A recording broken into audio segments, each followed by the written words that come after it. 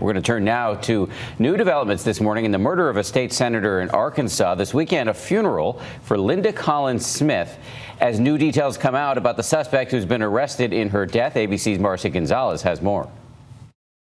This morning, new insight into the connection between a former Arkansas state senator killed at her home and her former campaign staffer arrested in connection. It comes as a as a shock. Linda Collins Smith was found shot to death on June 4th. Days later, Rebecca Lynn O'Donnell updated her Facebook profile picture to this smiling image of them together. Then Friday, without explanation, police took O'Donnell into custody. The investigation is presently at a critical juncture and no further information will be released at this time. ABC news station KAIT reporting that O'Donnell recently appeared as a corroborating witness in Collins Smith's divorce case, and we're told the two were good friends. They were all uh, fighters for the Second Amendment, and so they would you know, you'd see them at events, travel together. This weekend, family, friends, and colleagues gathered for Collins Smith's funeral, remembering her as a loving mother and tough legislator.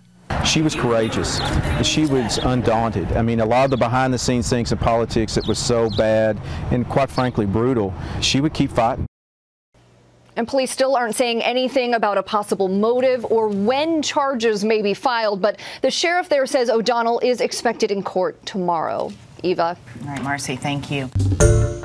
Hi, everyone. George Stephanopoulos here. Thanks for checking out the ABC News YouTube channel. If you'd like to get more videos, show highlights, and watch live event coverage, click on the right over here to subscribe to our channel. And don't forget to download the ABC News app for breaking news alerts. Thanks for watching.